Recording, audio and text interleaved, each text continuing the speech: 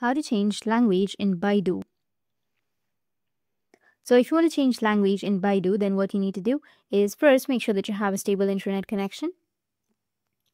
Now, let me tell you one thing that you cannot fully change the language on Baidu to English as it primarily serves the Chinese domestic market. To use it, you can either use a web browser with a built-in translator like Google Chrome or use a translation tool like Google Translate to translate the pages as you browse. So there's no official way or there's no option to change the language in Baidu.